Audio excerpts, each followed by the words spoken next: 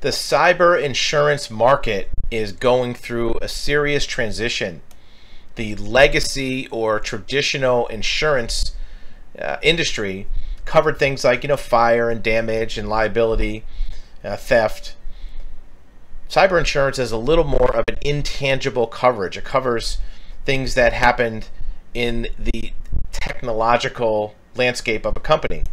For the past 100 plus years, insurance companies have based their underwriting, sales, and even claims adjustment based on the type of claims that come from a, more structural or trend or tangible type of loss. Your building is damaged, uh, somebody gets hurt and injured. Um, even financial losses are tangible. The cyber insurance structure is different, and some of those companies are struggling with that transition. In the same way that you know electric vehicles are replacing gasoline vehicles, and there's a a little bit of a um, struggle there the insurance industry is facing the same struggle. How is that playing out for companies, brokers, and even insured clients? Well, what it looks like from the insurance side is that insurers who write cyber liability policies and are specifically or dedicated to that cyber market are well equipped to handle claims. But carriers and adjusters who are traditional type cover coverages may not have the legacy structure that matches the underwriting and claims. For example, underwriting, preparing for selling a policy for cyber for cyber insurance needs a lot more research about the insured than a typical legacy type policy.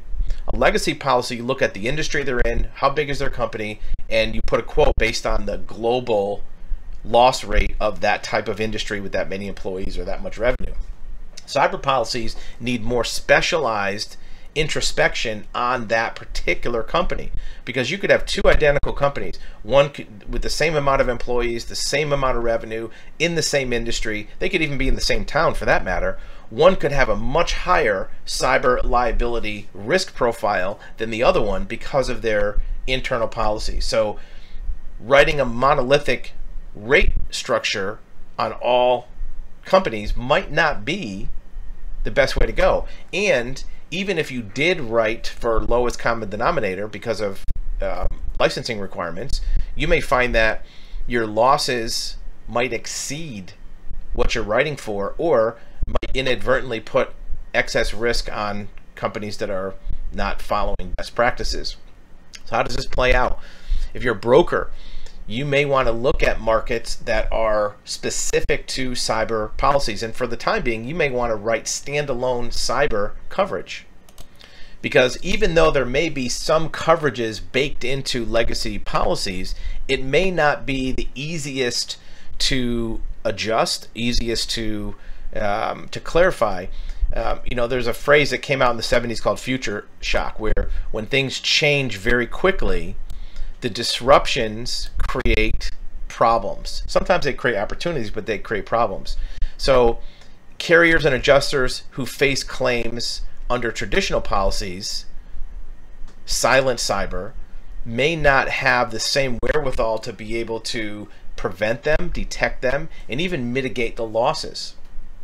So it's worth noting that as a broker, even as a customer, buying a standalone cyber policy, not adding it as an endorsement to a standard policy, might have some advantages because you might be exposed to a company and a broker who specializes in that type of coverage so that you're not trying to do what's called a houseboat, right? Think about a houseboat.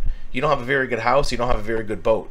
If you're mixing cyber and traditional policy, you may not have good coverage or the best coverage for both having them distinct and separate, at least for the time being, until the companies kind of homogenize this type of insurance um, liability understanding, you might want to go with experts who are starting out kind of disrupting the market, leapfrogging ahead. There's some new companies that write only cyber, but sometimes have a better understanding of that market. They can maybe have lower premiums, better coverages, uh, and even a better understanding of how to write for your business. But compare, make sure you're not just uh, doing an insurance decision based on just the fact that the company talks about cyber. You want to make sure that they have the ratings that you want, they have the coverage that you want, and that you understand what the exclusions are because cyber has a lot of exclusions, especially when it comes to you following best practices. You're going to have to abide by the terms and conditions of